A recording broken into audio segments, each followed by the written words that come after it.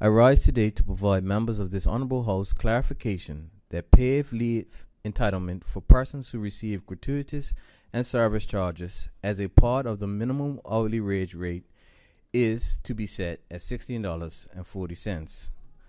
Mr. Speaker, in addition, the ministry wishes to advise this Honorable House that the ministry intends to amend the Employment Act 2000 to clarify in law that other gratuities which do not constitute part of the part of the minimum hourly wage rate will be excluded from the calculation of leave entitlement, which is the current intention of the law. Mr. Speaker, prior to the 1st of March 2024, there was no definition for gratuity or service charge under the Act, and both were considered as falling within the term tip as defined in the Act, and as such did not constitute wages.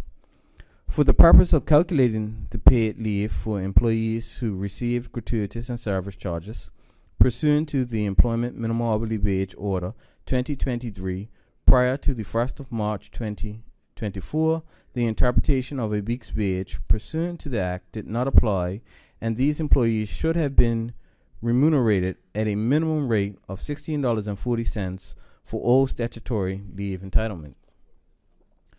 Mr. Speaker, pursuant to the Employment Protection of Employees Tips and Gratuities, Other Gratuitous Amendment Act 2023, which took effect on the 1st of March 2024, the term other gratuitous was introduced and effectively differentiated tips from other gratuitous. As a result, the calculation of a week's wage for employees who receive gratuitous and service charges has fundamentally changed i.e., the leave entitlement for employees who receive other gratuities and those wages vary from week to week, should be calculated by taking the average wage earned over the previous 12 weeks worked.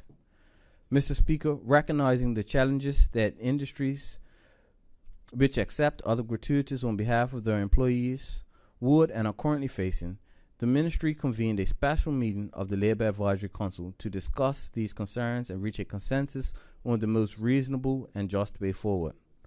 Mr. Speaker, as this most honorable host may already be aware, the LAC comprises of representatives of the government, employer groups, and worker groups as equal and independent partners together seeking solutions to the issues facing Bermuda's labor force through social dialogue. Mr. Speaker, the LAC had a robust discussion on the paid leave entitlement for persons who receive other gratuities as part of the minimum hourly wage entitlement. The consensus reached by the LAC is as following. The paid leave entitlement for persons who receive other gratuities as part of their wages should be set at the minimum hourly wage rate, which is currently $16.40. Mr. Speaker, the ministry thanks the members of the LAC for the continued continued work and engagement on behalf of their respective memberships and would like to take this opportunity to thank the members of this honorable house for the opportunity to address them in this regard. Thank you, Mr. Speaker.